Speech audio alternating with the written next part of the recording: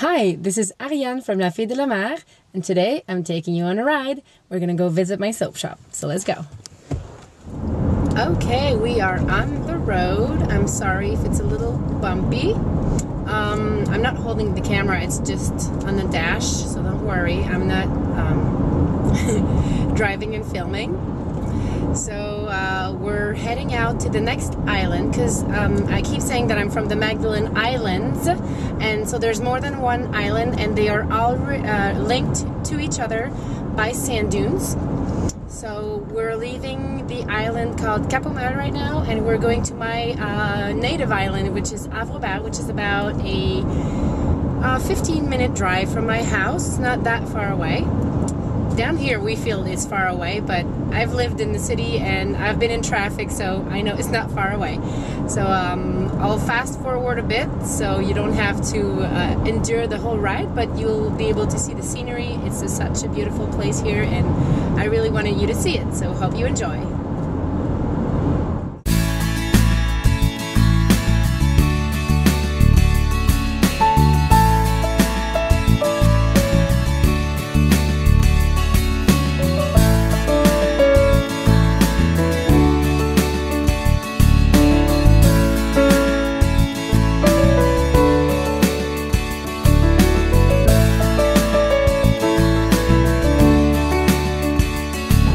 Take you to the historical site called La Grave and it's a place where the main commercial um, maritime port used to be before. It's not here anymore, but it used to be like 50 years ago or so and all the fishery industry uh, was taking part on this part of the island as well as other places around here. But yep, this is my uh, home island and we will pass right in front of my parents' house. I don't know if you can see. It's it's not close to the road. It's a big yellow house really far away. I will point it out. Um, well, I can see it, but it's way back there. There's an orange house and then right behind there's a yellow house. Not that one up close, but even farther away. So anyways, that's my... Maybe I'll just take a drive down my parents' house. I have something for my mom anyway, so let's right. this is our neighbor's house, David, and there's my mama and my daddy's house. This is also the house where I made my first uh, my first summer of soaping. I used to soap in my mom's kitchen and they didn't really like that because everything tasted like soap after that in their house. So there it is. Okay, back on the road. We are getting close to my shop. Um, next turn on the left and we will enter La Grave where my shop is and it's a very beautiful place. Uh, it's uh, the coast to coast is really close here. You can see the water. The water is on both sides, and uh, yep, that's where my shop is. Closer, getting closer, and here we are, little blue shop, right?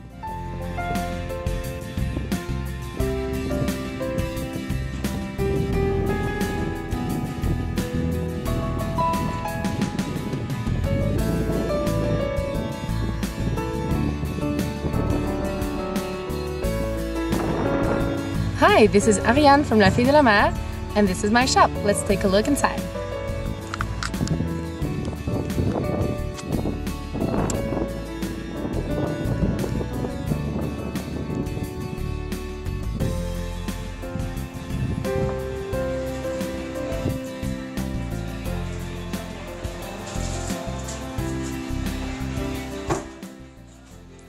Sneak peek at my bath bombs and in just a second I will show you my fizzy cupcakes and here are my soap making kits for children in the popsicle soaps. Ah, there they are, fizzy cupcakes and just beneath them um, bath truffles that I sell in assortment packs.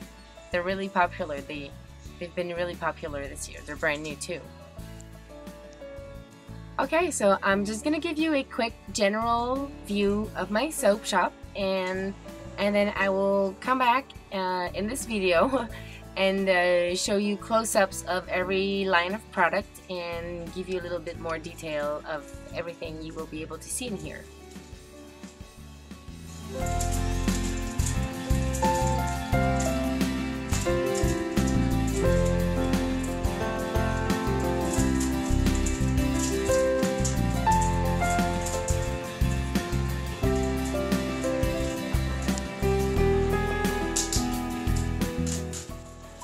Those are my melt and pour soaps. I have over 12 to 15 um, different kinds and um, I like making melt and pour in the summer.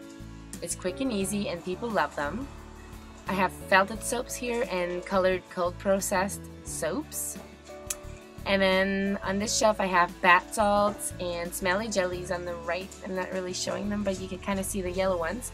Those are my um, traditional cold processed soaps. Um, they're not finished packaging, but you'll see in just a second how I place them when they're done.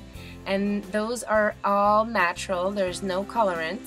Uh, except for clays and coffee grounds and stuff like that and they're all scented with essential oils so those are all natural. So if you like colors, I have colors. If you like natural, I have natural. Those are my creams and scrubs. I have uh, four or five varieties in this video, but I have two more coming up, coconut and, and uh, geranium. Those are my massage candles. Uh, let me show you one. I have testers for all of my products because uh, people really like to look, smell, and touch before they buy, so I give them this possibility. Anyways, uh, massage candles, and then in the little amber jars, those are massage oils and massage breads in the back. Those are my regular candles. They're all made with soy wax, so they're vegetable based, and they all produce a really nice uh, aroma when they are burned.